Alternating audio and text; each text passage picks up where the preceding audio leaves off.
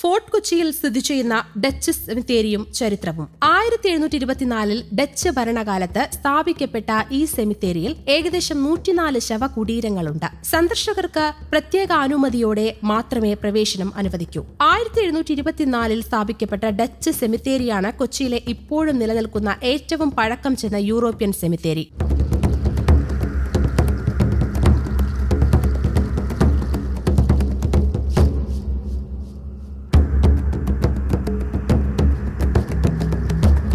ആയിരത്തി അറുന്നൂറ്റി അറുപത്തി മൂന്നിൽ പോർച്ചുഗീസുകാരെ പരാജയപ്പെടുത്തിയതിനു ശേഷം ഡച്ചുകാർ പതിനെട്ടാം നൂറ്റാണ്ടിന്റെ അവസാനം വരെ കൊച്ചി ഭരിച്ചു. നൂറ്റി മുപ്പത് വർഷം നീണ്ട അധിനിവേശ കാലഘട്ടത്തിൽ അവർ കൊച്ചിയിൽ ഭരണവും കച്ചവടവും കൈയാളിയിരുന്നുവെങ്കിലും തങ്ങളുടെ മുൻഗാമികളായ പോർച്ചുഗീസുകാർ ചെയ്തതുപോലെ പ്രാദേശിക സംസ്കാരവുമായി ഒരിക്കലും സമന്വയം പ്രാപിച്ചില്ല. തൽഫലമായി ഇവിടെ ഡച്ച് അധിനിവേശത്തിന്റെ ശേഷിപ്പുകൾ ഏതാനും സ്മാരകങ്ങളിലല്ലാതെ ഭക്ഷണത്തിലോ ഉത്സവങ്ങളിലോ കാണാൻ കഴിയില്ല. അത്തരത്തിലൊരു സ്മാരകമാണ് ഡച്ച് സെമിത്തേരി. മിക്കവാറും അടഞ്ഞാണ് ഇതിന്റെ കിടപ്പ. ഇതിന്റെ പ്രവേശന കവാടത്തിൽ സ്ഥാപക വർഷമായ ആയിരത്തി എഴുന്നൂറ്റി ഇരുപത്തിനാല് എന്ന് കൊത്തിവെച്ചിട്ടുള്ളതല്ലാതെ വേറൊന്നും കാണാനില്ല. പതിനെട്ട് പത്തൊൻപത് നൂറ്റാണ്ടുകളിൽ പ്രചാരത്തിലുണ്ടായിരുന്ന ഡച്ച് മാതൃകയിൽ നൂറിലേറെ ശവകുടീരങ്ങൾ ഇവിടെയുണ്ട്. ഒന്നിൽ പോലും കുരിശില്ല. അടുത്തുള്ള സെന്റ് ഫ്രാൻസിസ് ചർച്ചിന്റെ കെയർ ടേക്കറോട് അഭ്യർത്ഥിച്ചാൽ സെമിത്തേരിയുടെ ഉള്ളിലേക്ക് പ്രവേശിക്കാൻ സാധിക്കും. ചുറ്റുമുള്ള വലിയ മതിൽക്കെട്ടുകൾ കാഷ്വൽ സന്ദർശനങ്ങളെ അസാധ്യമാക്കുന്നു. ആയിരത്തി എഴുന്നൂറ്റി തൊണ്ണൂറ്റി അഞ്ച് മുതൽ ആയിരത്തി തൊള്ളായിരത്തി നാൽപ്പത്തി ഏഴ് വരെ ഇവിടെ ഉണ്ടായിരുന്ന നിരവധി ബ്രിട്ടീഷ് ഭരണാധികാരികളെയും കച്ചവടക്കാരെയും അടക്കിയത്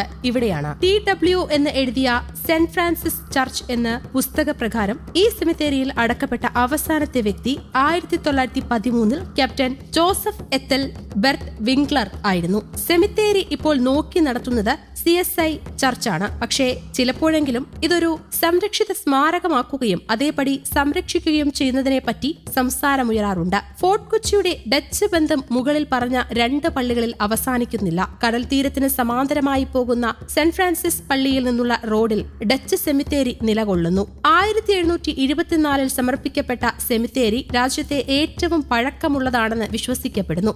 അക്കാലത്തെ ഡച്ച് വാസ്തുവിദ്യയുടെ ശൈലിയിൽ നിർമ്മിച്ച സെമിത്തേരി ചുറ്റുമതിലുകളാൽ ചുറ്റപ്പെട്ടിരിക്കുന്നു. പ്രവേശന തൂണിൽ ആയിരത്തി എഴുന്നൂറ്റി ഇരുപത്തിനാല് വർഷം കൊത്തിവച്ചിരിക്കുന്നു. നൂറ്റിനാല് എണ്ണമുള്ള എപ്പിറ്റാഫുകളും ശവകുടീരങ്ങളും ഡച്ച് ബ്രിട്ടീഷ് പൗരത്വമുള്ള നൂറുകണക്കിന് ആളുകളുടെ ആധികാരിക രേഖകൾ വഹിക്കുന്നു. പല ശവകുടീരങ്ങളും കരിങ്കല്ലും ചുവന്ന ലാറ്ററൈറ്റും കൊണ്ട് നിർമ്മിച്ചതാണ്. അവയ്ക്ക് കുരിശില്ല. വലിയതും ചെറുതുമായ ശവകുടീരങ്ങളുണ്ട്. എപ്പിറ്റാഫുകളിലെ ലിഖിതങ്ങൾ പഴയ ഡച്ച് ലിപിയിലാണ്. മിക്ക സമയത്തും സെമിത്തേരി അടച്ചിട്ടിരിക്കുമെങ്കിലും സന്ദർശകരുടെ അഭ്യർത്ഥന മാനിച്ചാണ് ഇത് തുറക്കുന്നത് ന്യൂസ് ഡെസ്ക് കേരള കൗമുദി.